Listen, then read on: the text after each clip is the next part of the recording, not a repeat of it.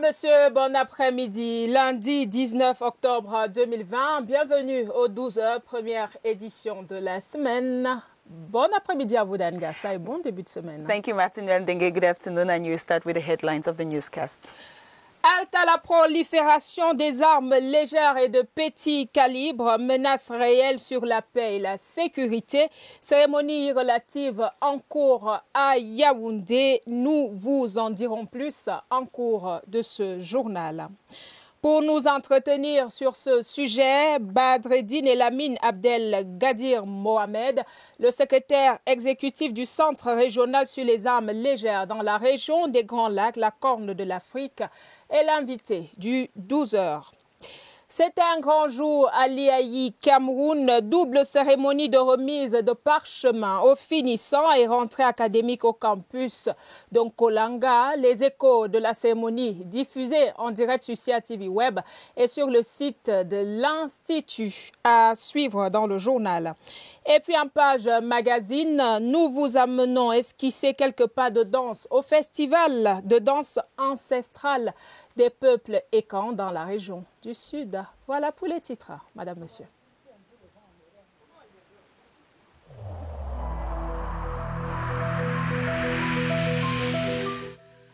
Le port du masque dans l'espace public restera obligatoire jusqu'à nouvel ordre.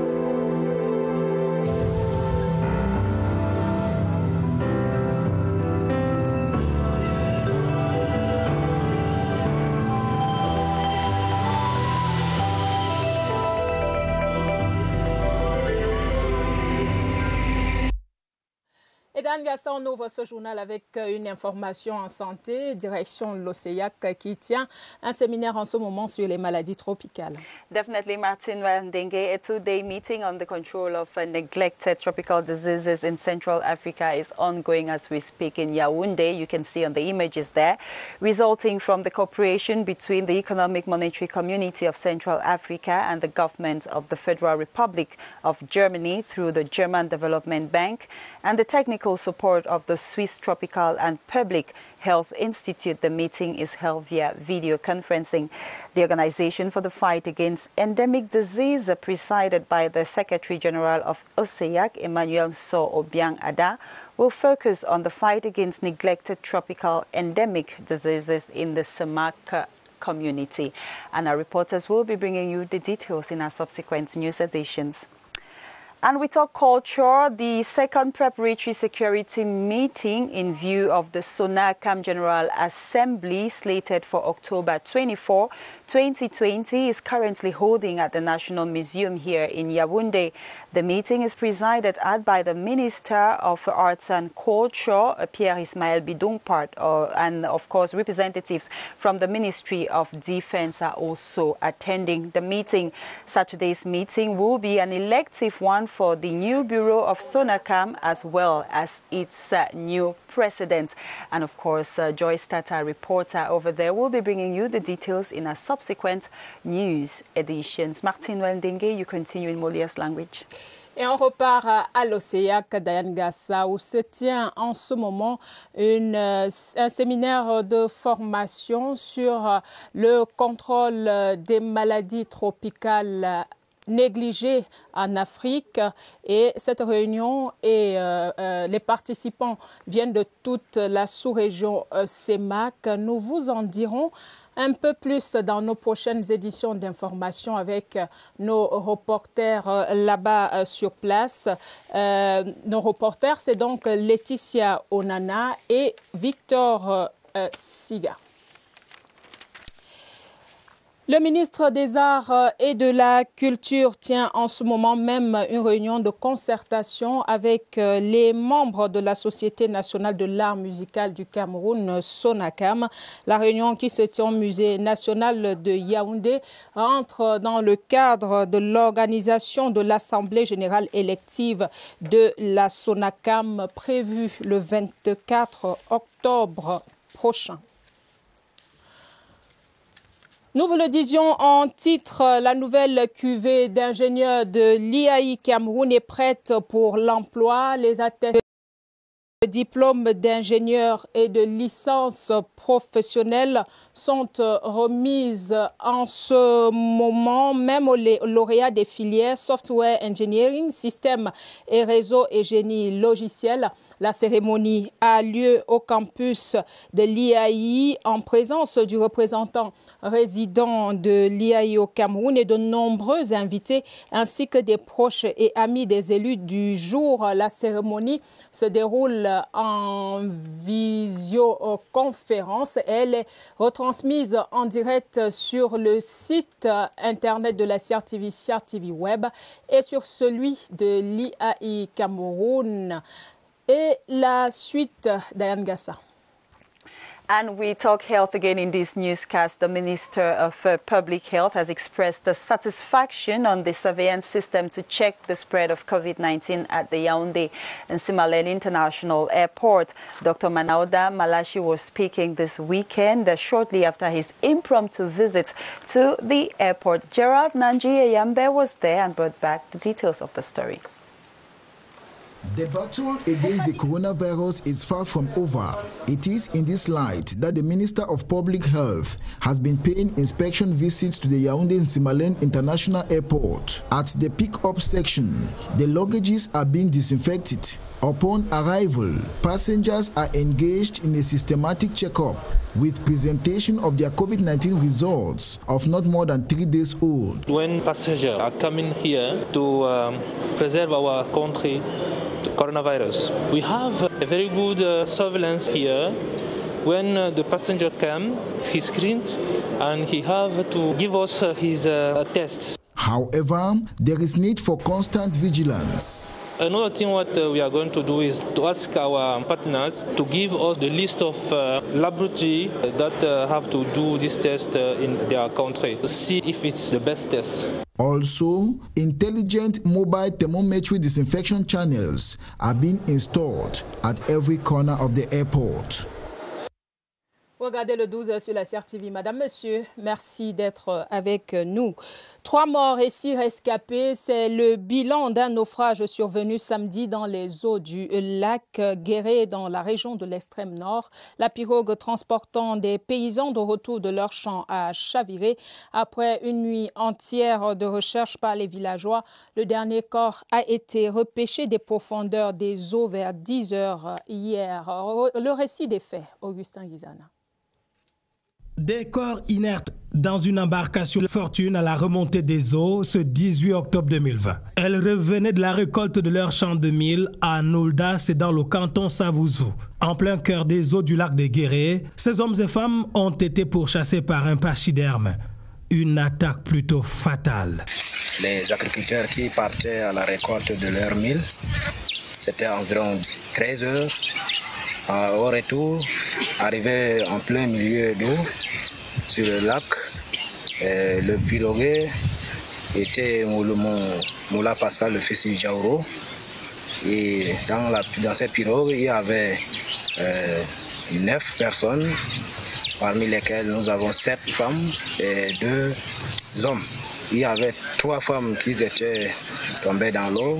La réaction prompte des riverains a permis de sauver six personnes. Les naufrages sur les eaux du lac des Guérets sont devenus légion. Si ce ne sont pas des attaques de pachydermes, ce sont des embarcations de fortune qui exposent les citoyens à la merci des vagues. Ce soir, Nulda pleure. Les condoléances du 12 heures à toutes les familles si durement éprouvées.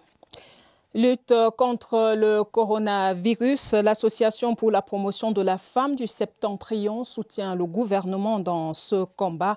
Elle remettait récemment des savons et des masques aux couches vulnérables au cours d'une cérémonie symbolique ici à Yaoundé. C'était en présence de notre reporter Salomé Nchama Ouna. Un geste nécessaire dans la lutte contre le Covid-19. L'action pour la promotion de la femme du septentrion apporte son soutien aux populations de la ville de Yaoundé dans ce combat. Nous avions pensé que euh, la rentrée scolaire était le moment idéal pour pouvoir sensibiliser les familles sur les questions d'hygiène. Nous ciblons particulièrement les familles, les familles vulnérables. C'est pour ça que nous avions travaillé avec les communautés religieuses et certaines associations. Prenait part à cette cérémonie symbolique le délégué régional de la promotion de la femme et de la famille du centre, la représentante du ministère de la Santé publique, le représentant du ministère des Affaires sociales et les bénéficiaires qui ici expriment leur satisfaction. Ça a été la bienvenue parce que vous voyez nos enfants quand ils partent à l'école, on leur dit si tu n'as pas de masque, tu ne peux pas entrer. Un masque, on utilise ça deux jours, trois jours. Il faut vraiment changer de masque. Avec euh, le don que nous avons reçu là, vraiment, nous sommes très très contents, surtout dans notre communauté. Moi, je suis à la briqueterie. À sept mois du début de la pandémie, les chiffres donnés par la représentante du ministère Santé font état de 21 430 contaminations, 20 333 guéris pour 424 décès. Thanks for watching the Midday Bilingual Newscast on the CRTV and on CRTV News. And we continue talking health and we're talking about uh, this fight against COVID-19 in Cameroon. Some women of uh, the three northern, women's group uh, of the three northern regions of Cameroon uh, have uh, been meeting to donate some uh, COVID-19 material to some inhabitants here in Yaoundé. Our reporter, Karine Eyike, was part of the event and gives us the details of the story. Receiving health treatment and follow-up at home is what ESIM seeks to offer Cameroonians. L'idée a été surtout The idea is to enable patients benefit from a quick follow-up through the dispositions put in place on the platform. Euh, We can easily take a rendezvous and be consulted online. This helps in reducing unnecessary movement to the hospital. Though charges remain the same as in hospital, the new form of medical consultation will enable citizens get directly in contact with health experts. There is no difference in terms of payment, but the difference is that the patient receives his treatment at home without going to the hospital.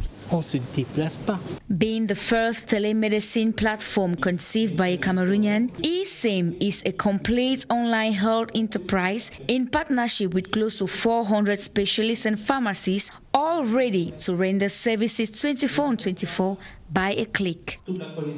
We must all bar the way to the spread of COVID 19 in the country.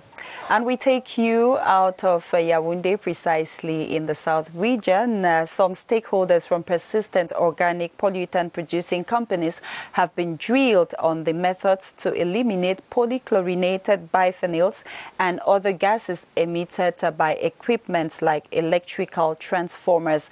This was during a five day workshop in Kribi organized by the Ministry of Environment, Nature Protection and Sustainable Development. As we hear in the following report by Polycarp RTA. the initiative uh, will help to protect uh, the green gas house. Let's have his report. This workshop, organized by the Ministry of Environment, Protection of Nature and Sustainable Development in partnership with the United Nations, is aimed at schooling the participants on the new regulation that guides the elimination of polychlorinated biphenyls, PCB, a group of man-made toxic chemicals consisting of carbon, hydrogen, and chlorine atoms with persistent pollutant like diluted fluid found in electrical transformers, capacitors, industrial pens, air conditioner, dye, and a host of others. We are planning to train these technical committee members on a new PCB regulation. And after training them on the new PCB, we're going to examine their decontamination and elimination plan. The undesirable effect posed on human health by the PCB waste is also a cause for concern in this workshop. Exposure to, to PCB in high concentrations can cause uh, skin cancer, they can cause uh, brain damage. They can cause malformation of our babies. At the end of this five-day workshop, the participants who came from different corporations that deal in these environmental and life-threatening chemicals will be equipped with knowledge on the new regulation which warrants them to dispose the PCB waste in an environmental friendly manner.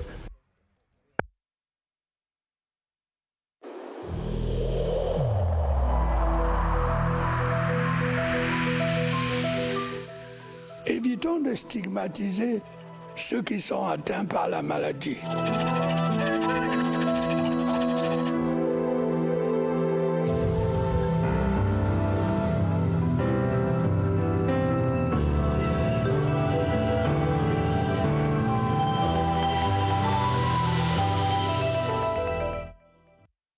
De regarder le 12, Madame, Monsieur. Votre fidélité nous honore. Le système informatif dans l'organisation des examens officiels organisés par l'Office du baccalauréat du Cameroun sera plus sécurisé. L'objectif étant d'éviter les défaillances comme celles observées pendant euh, les examens session 2020. Cette euh, problématique était au centre d'un atelier tenu par l'Office du baccalauréat du Cameroun récemment à Kribi, dans la région du Sud, sous la conduite euh, du directeur Étienne Roger Minkoulou. Le compte rendu de Salvatore Becha à Kribi. Pour l'Office du baccalauréat du Cameroun, la session de l'année 2020 s'est bien achevée dans l'ensemble du pays malgré quelques incidents. Nous avons inscrit nos enfants, ils ont composé et ils ont eu leurs résultats.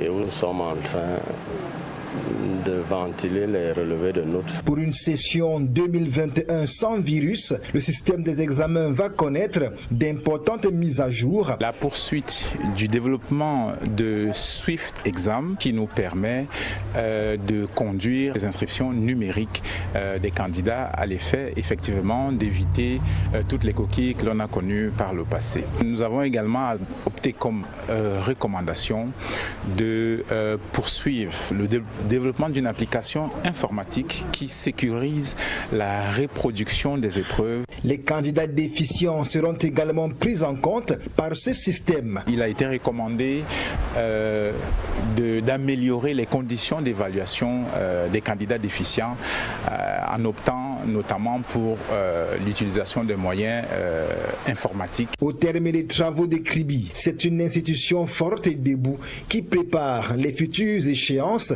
dans la sérénité pour un bilan plus satisfaisant en 2021.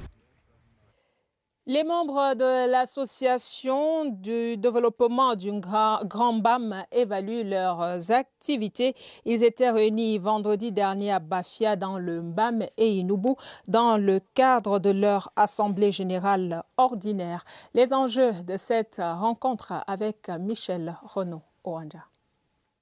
Créé il y a un an, nombreuses actions sont menées par l'Association pour le développement du MBAM. L'Assemblée générale de ces regroupements tenus à Bafia a permis aux élites de revisiter leurs actions. À nos frères qui traînent le pas, que la caravane est lancée, il faut qu'ils nous rejoignent. Parce qu'on a besoin de toutes les mains pour construire le pays. Des projets à mener dans un futur proche ont également été évoqués. Nous avons décidé que nous allons réfléchir pour essayer ensemble de doter chaque arrondissement d'un pavillon de santé. Pour rendre davantage la ville d'accueil de ces assises attrayantes, l'association sportive des avocats ainsi au barreau du Cameroun est venue prêter main forte à la commune de Bafia à travers une campagne de propriété. Dans l'ensemble des membres que vous voyez sont des membres de l'AS Barreau. Ils sont venus pour faire ces travaux d'assainissement avec le maire et avec la population. C'est des moments de communion intense. Ils ont abandonné leur cabinet pour venir poser leurs actions, montrer aux populations de la ville que tout le monde peut contribuer au développement. Une rencontre sportive a également meublé ses assises. La tête nous vous le disions en titre, le Cameroun adhère à l'initiative africaine de lutte contre la prolifération, autant pour moi, des armes légères et des petits calibres qui fait peser une menace réelle sur la paix et la sécurité. La cérémonie de lancement du projet 10 mois d'amnistie se déroule en ce moment même à l'hôtel Hilton de Yaoundé sous la présidence du ministre des Relations extérieures, le jeune Mbela Mbela, et en présence de Badreddin Elamine El Abdelgadir Mohamed, le secrétaire exécutif du Centre régional sur les armes légères dans la région des Grands Lacs et la Corne de l'Afrique. Diane Gassa. Yes, Martin Weldengue, you rightly said it. Cameroon adheres uh, to the fight against uh, the proliferation of light arms and weapons uh, on the continent to fight against uh, insecurity. And you rightly said our guest uh, on the midday uh, today is the Executive Secretary of the Regional Center on Small Arms in the Great Lakes region, former Sudanese Police General uh, El Amin Adel Gadir Mohamed talks about the situation of light arms and small weapons uh, on the African continent. He is uh, talking with uh, Charles Sebune. The illicit arms you are talking about in Africa in general, can we have an estimated figure and in the Great Lakes area in particular where we have had conflicts over the years? According to the last survey or the last estimation, is 40 million illicit arms circulating here and there. Although we know our uh, borders are very porous and difficult to control. Absolutely. That is one of the reasons for the avalanche, for the spread, for the fast circulation of uh, illicit small and light weapons in Africa. What is the situation in the Great Lakes region in particular where your center carries the operational activities? The situation varies from here to here. You have about 15 countries that the regional center on small and light weapons um, uh, covers. Tell me about the composition of these countries and which ones of them are more vulnerable. Uh, these 15 countries are uh, the countries of the Great Lakes and the Horn of Africa and also the bordering countries start from Eritrea, Ethiopia, Djibouti, uh, uh, Somalia, Sudan, South Sudan, Kenya, Uganda, uh, Tanzania, Rwanda, Burundi, and Seychelles. Mm. And the Central African Republic, like those countries African, that are neighboring. Yes, yes. we have uh, the most fragile countries, every, uh, like CAR, like uh, DRC, and even Somalia there. What is the nature, what accounts for light arms proliferation in this area in particular? Uh, for different reasons, and I think uh, the no development, the problem of daily life, and I don't want to say the bad governance also is behind everything. Before heading the regional center on small and light weapons, you were a general in the Sudanese army. Uh, tell me the activities of the center in particular in combating the proliferation of the weapons we just spoke about. Really, everywhere in our in our continent, Africa, the problem of the arms proliferation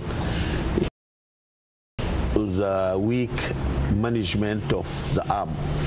And for that, our region, our regional center work on the control and management of the state arms. That is to say, there is a lot of leakage in our management of our control of small arms from the state arms itself and uh, this is the, the real source of proliferation. You are very much aware that the illegal circulation of these weapons um, fuels the drug cartel business and uh, piracy on the Gulf of Guinea, where Cameroon, Equatorial Guinea, Nigeria uh, are found uh, the main access to the Atlantic Ocean for most commercial activities. Just how crucial will the launching of the Amnesty Month in Yaoundé be in this fight? Definitely everyone knows that it is the first threat to the continental security or individual country security is the small arms proliferation. And now, in the past, our efforts was very difficult. And now we are, our job is facilitated everywhere where we go to any country.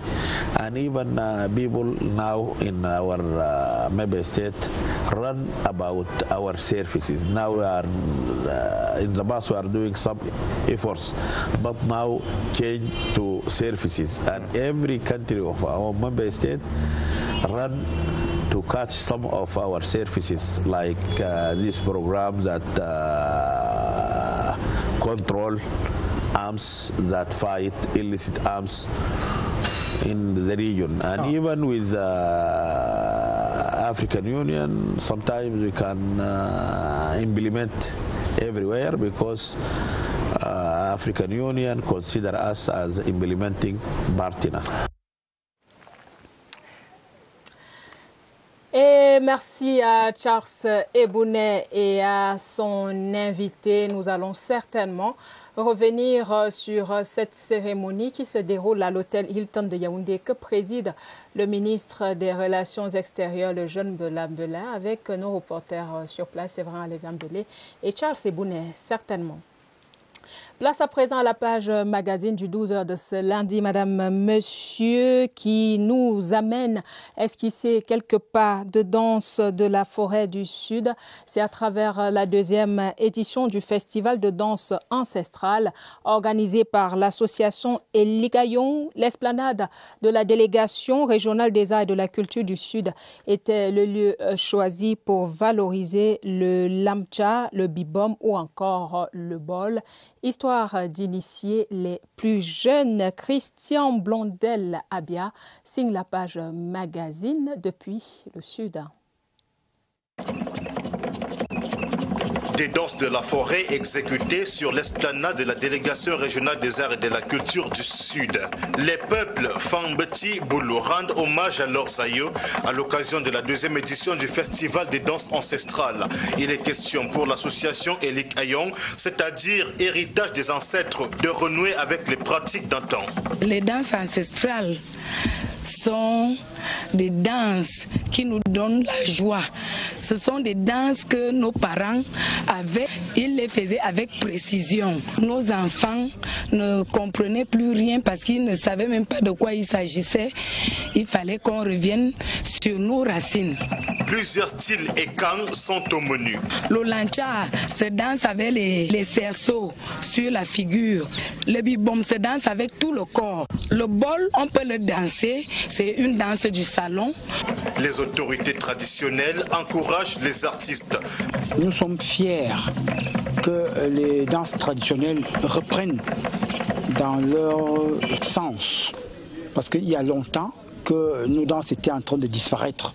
Nous pensons que nous pouvons mettre du nôtre pour que ces danses reprennent et continuer à vivre. L'objectif des promoteurs du festival est de former les jeunes Ekang à l'effet de leur permettre de pérenniser leur culture. Merci infiniment, euh, Christian Blondel. Abia et Martinuel, ça donne envie de danser un lundi. Ça donne envie de danser, Diane Gasson, mais on va attendre certainement le week-end pour aller esquisser quelques pas de danse. Euh, voilà, c'est la fin du journal. And it's with that we call it quit on this edition of the midday bilingual newscast on the CRTV and CRTV News. Tomorrow, Martinuel Dengue and myself will be back with another rich package to inform you. You, Dan Gassa. Madame, Monsieur, merci d'avoir regardé le 12 première édition de la semaine. Merci de rester sur les antennes de la CRTV. Nos programmes se poursuivent. Bonne dégustation à vous qui êtes déjà à table. Et à demain, 12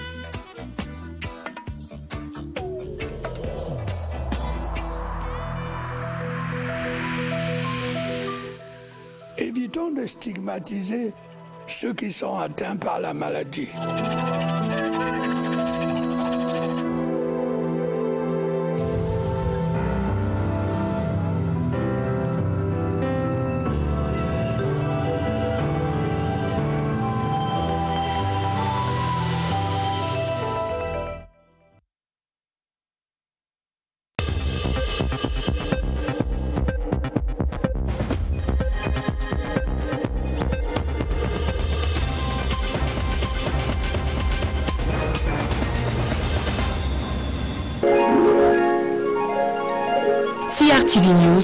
Ici, toute l'info.